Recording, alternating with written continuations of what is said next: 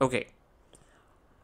So what we've understood so far is we've understood that the primary structure of the protein is referred to as a single polypeptide chain. It's quite long. Okay. I mean, it can it can go as long as you want it to. And the secondary structure of the protein is what happens when that same polypeptide chain starts to form pleats or coils. And those pleats or coils are called the alpha helix and beta pleated sheets. And if you remember in the previous video, the reason why secondary structures start to happen is because of the formation of hydrogen bonds. Okay, so now what happens is uh, we go into something known as the tertiary structure. I want you to see what happens uh, to that same polypeptide chain. That same polypeptide chain starts to further coil and fold within itself. It starts to become, uh, one of my students said it beautifully. One of my students said, uh, it feels like taking a long uh, like a long string or a thread and you're just crumpling it up like a piece of paper and you're just crumpling it up and the paper's flat but when you crumple it up it becomes a ball and it's the same thing with this the protein was like a chain and the protein starts to coil and crumple within itself and fold within itself to form a three dimensional shape. And that's a beautiful analogy that my student went with and i'm gonna i'm gonna use it. I hope she doesn't hear this i hope she doesn't listen to this video because she might sue me. Oh she won't. Okay. I hope not at least. Okay so coming back to this. Uh, the tertiary structure of the protein is described as the further folding of the polypeptide chain a polypeptide chain my mistake sorry is the further folding of a polypeptide chain to form a specific three-dimensional structure.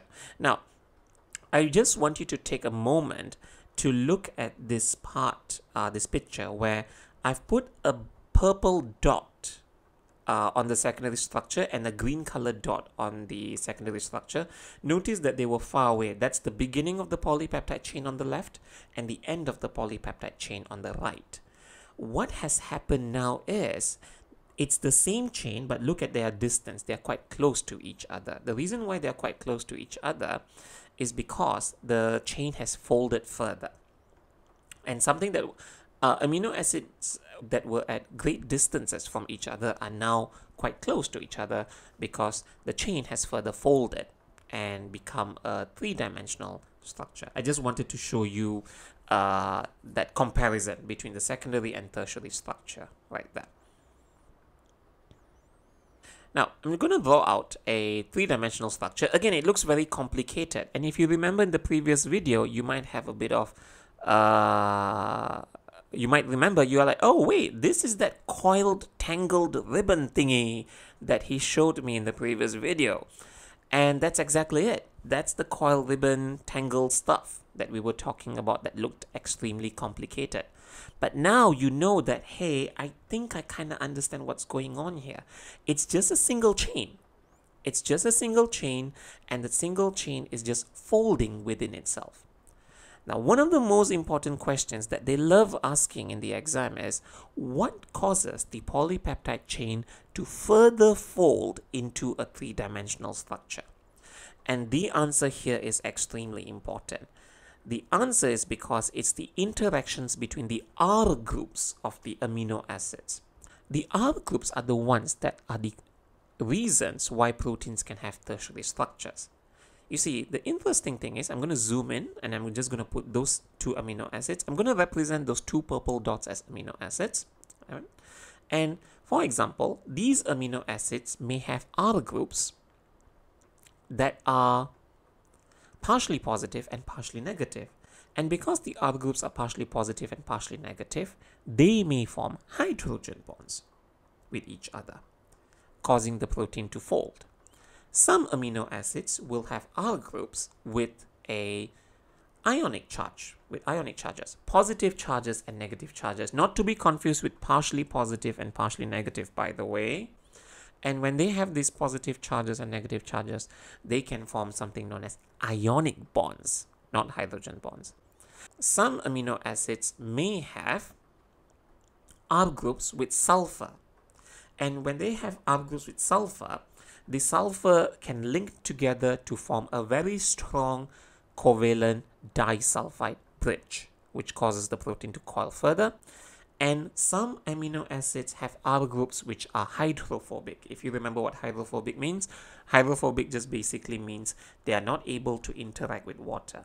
And because they don't interact with water, they start to interact with each other and they will form something known as weak hydrophobic interactions between those amino acids. The four bonds that can cause the polypeptide chain to fold further to form a 3D structure are as follows. They can be the hydrogen bonds, ionic bonds, weak hydrophobic interactions, and disulfide bridges. Now, what you have to know is hydrogen bonds, ionic bonds, and the hydrophobic interactions are weak and disulfide bonds or disulfide bridges are strong. Uh, in, in the way that the weak ones can be easily influenced by temperature, pH, and such, but the strong bonds are not so easily broken down or influenced by external factors.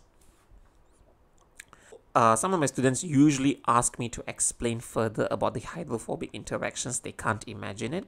So what I'm going to do here is I'm just going to draw out a single polypeptide chain. All right. And if you notice in those single polypeptide chains, I've shaded um, a few of them uh, as red in color, the red in color ones, where the ones in white are just polar amino acids. And if you remember, polar means they have charges, and the ones in red are non-polar amino acids. And they do not have charges. And as a reminder, polar means they can interact with water, non-polar means they avoid water. Now imagine if I put this chain into water, look at what happens to the chain. The polar ones will face outside and the nonpolar will curl inwards. Why does the nonpolar one curl inwards? Because remember, they hate water. They don't want to interact with water because they cannot interact with water. So, because they cannot interact with water, what do they do? They interact with each other. And thus, in an attempt to avoid water, they will cause that single straight chain to form a 3D structure. That's how hydrophobic bonds are created. I hope you understand this part as well. So what we've done so far is we've looked at the primary, secondary, and tertiary structure of a protein.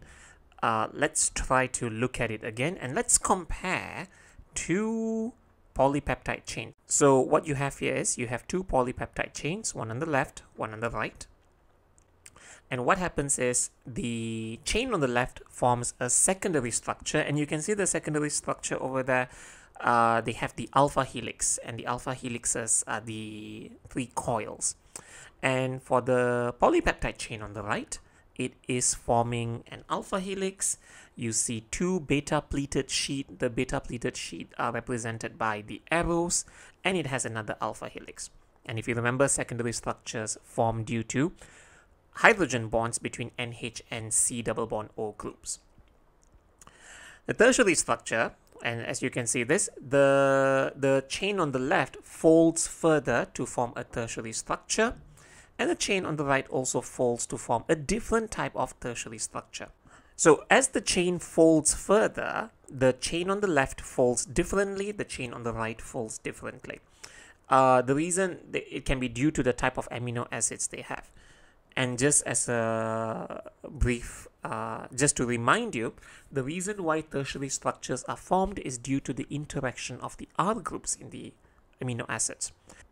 So we have uh, these two proteins have different tertiary structures. That's what we just have to see for this. Now, by definition, quaternary structure is a protein made up of two or more polypeptide chains. If it's only made up of a single polypeptide chain, it will usually stop at tertiary. But if the protein is made up of two or more polypeptide chains, then it has to be referred to as quaternary. Let's look at insulin. Insulin is one of my favorite examples to use. It doesn't come out so much in the exam. Um, like, like for example, you will be talking about insulin, uh, insulin's function in chapter 14 in A2 biology. Uh, you don't have to know the structure of insulin. You don't have to know how it looks like.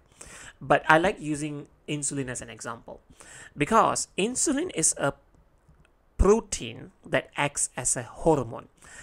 Insulin is a protein hormone that controls your blood sugar level. It prevents your blood sugar level from going too high, right? And uh, if you do not have enough insulin in your body, or if your body cannot produce insulin, you get a disease known as diabetes mellitus. Now, uh, forget about the function of insulin. Let's go back to its structure. So for insulin to function, you need two polypeptide chains. And I'm going to draw out the two polypeptide chains. There's a chain at the top and a chain at the bottom. Both chains show a primary structure. Primary structure is just a sequence of amino acids. And then both chains will then start to form a secondary structure. How do I know that's a secondary structure? The chain on the top, the red color one, has a beta pleated sheet and an alpha helix.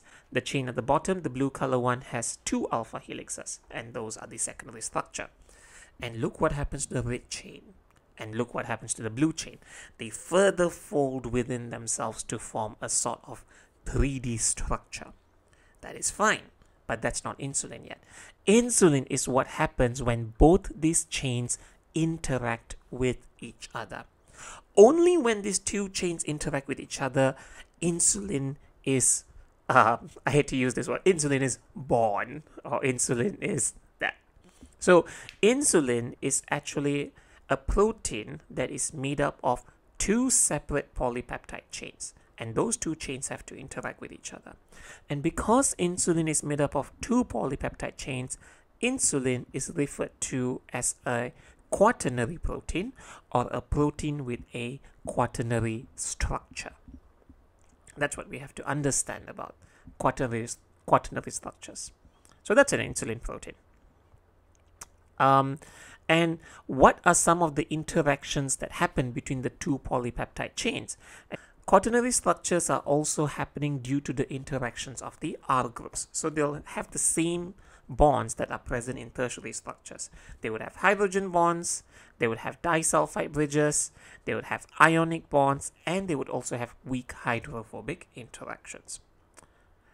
In summary, a primary structure is one polypeptide chain made up of a sequence of amino acids a secondary structure is just the same polypeptide chain but coiling or folding due to hydrogen bonds between the NH and C double bond O groups and they can form the alpha helix and beta pleated sheet. A tertiary structure is what happens when the polypeptide chain is just the same polypeptide chain further folding to form a 3D structure and how the tertiary structures happen is due to R group interactions of the amino acids. They have hydrogen bonds, they have ionic bonds, weak hydrophobic interactions, and disulfide bridges. And last but not least is quaternary structure. A quaternary structure is a protein made up of two or more polypeptide chains interacting with each other. I've drawn out one chain in blue, one chain in red, and also one chain in, I think that's green, that looks like green or the seafoam green green uh, seafoam green I think. Yeah but anyway there are three polypeptide chains. In this case in just my example here. And all the three chains are interacting with each other by the means of hydrogen bonds ionic bonds hydrophobic interactions and also disulfide bridges. If you remember in the vi previous video uh, we were we were basically talking about antibodies. And I said to you, oh God, this is a very difficult protein to describe. No, it's not. It's actually not a very difficult protein to describe right now. Because, let's look at it. Of course, this is in color. In the exam, you will not be able to see the colors, but it's okay. But just, just for the sake of trying to understand this protein, we can determine or we can discern that this protein molecule is actually made up of four polypeptide chains. And how do I know it's four polypeptide chains? Because we have a chain in gold, like a gold yellow color. We have a chain in a blue color. We have one in green and we also have one in pink. So it's four polypeptide chains. Immediately, because this protein is made up of more than two polypeptide chains, this is a quaternary protein antibody is referred to as a protein with a quaternary structure, or it's also referred to as a quaternary protein. And within each of the chain, you can see that it's folded to form a sort of 3D structure. You can also see the beta pleated sheets, the arrows that are forming around the area. So that is just basically what we have to understand for antibodies.